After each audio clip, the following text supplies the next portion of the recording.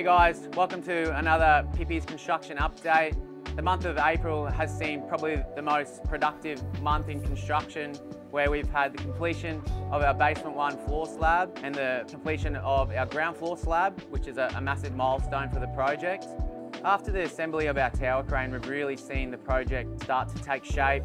Over the next three to four months, we'll really see the vertical structure take form and the project come to life. Right now I'm standing on our recently completed ground floor slab. Our ground floor slab hosts all of our resident amenities, so our 15 metre fully heated pool, our gym, basement entrance and pedestrian entrance. It also hosts one of our 19 residential apartments. With the completion of our two most complicated floor slabs being our raft slab and our ground floor slab, this really paves the way to the construction of our vertical structure. Over the next month, we'll see the completion of levels two and levels three floor slab along with their precast elements.